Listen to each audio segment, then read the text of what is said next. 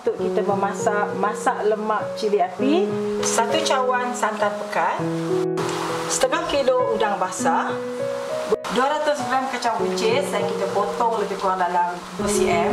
Satu sudu teh serbuk kunyit. Dua batang serai. Sedikit minyak. Jadi seperti yang chef janjikan, kita akan tunjuk macam mana kita nak masak masak lemak cili api yang menggunakan udang dan kacang buncis. Selain pada udang, kita boleh guna sotong, kita boleh guna daging, daging, daging salai, boleh guna ayam. Apa saja yang kita boleh guna untuk masak lemak dan juga uh, sayur-sayuran kampung ya, ulam-ulaman kampung. Kita masuk sikit minyak, jangan banyak sangat. Hmm, biarkan dia panas di sini. Chef seperti biasa akan Orang kata menumis serai. Serai mesti ada. Wajib. Ha, kita tumis serai dulu.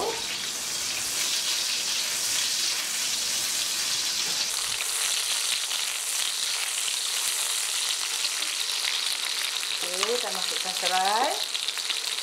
Kemudian di sini mudah saja kerana chef menggunakan rencah daripada Chef Liza. Rencah, tujuh rencah, tujuh rasa lemak cili api Chef Liza ini yang memudahkan anda di dapur nanti. Dah pun gini kita uh, tumis-tumis.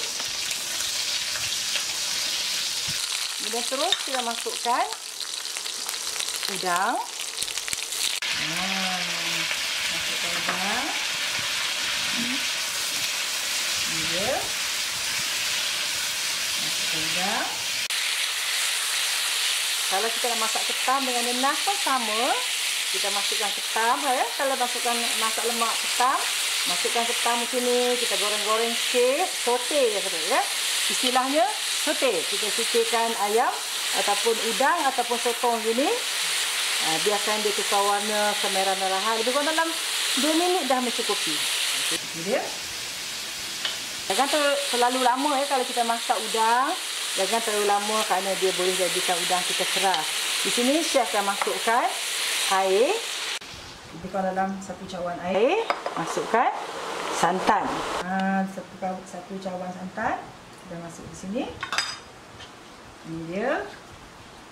Wah, lemak ni kalau kata kita masak. Daging salai memang sedap ni. Ha, jadi kalau anak kita ramai, biarlah kuahnya lebih sikit. Ha, biarlah kuah dia lebih sikit. Macam ni.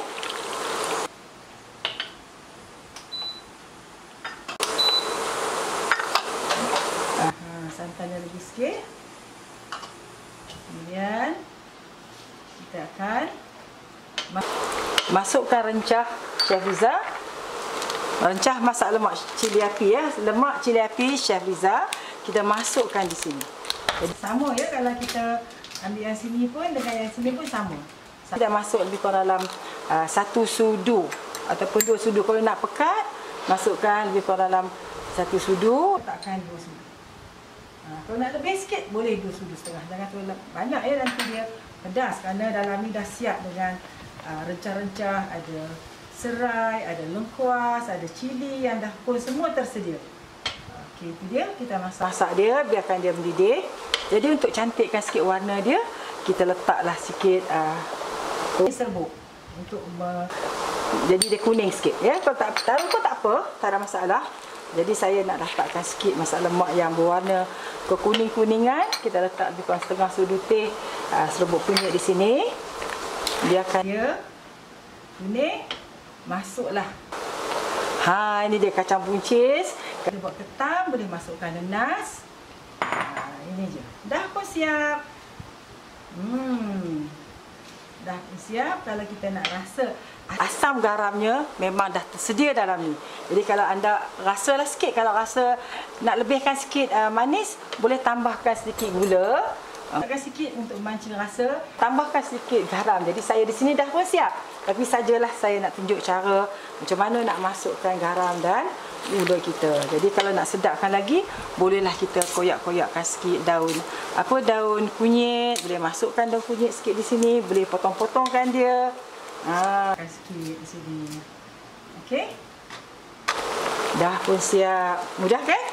Aha, jadi kalau kita nak yang nampak berminyak sikit, boleh kita letakkan sedikit minyak sikit aja. Ha, kalau nakkan minyak sikit, letakkan sikit dalam satu sudu je.